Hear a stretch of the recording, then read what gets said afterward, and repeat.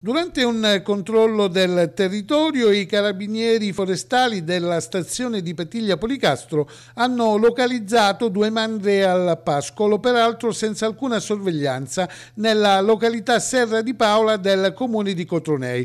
In seguito ad accertamenti sono riusciti a risalire ai titolari degli allevamenti, due donne classe 1963 e classe 1965, nate e residenti a Cotronei. In tutto sono state rinvenute al pascolo 41 bovini adulti più 8 vitellini. L'area in esame è sottoposta a vincolo per scopi idrogeologici e paesaggistici ed ambientali e ricade nella zona di protezione speciale ZPS Marchesato e Fiumeneto.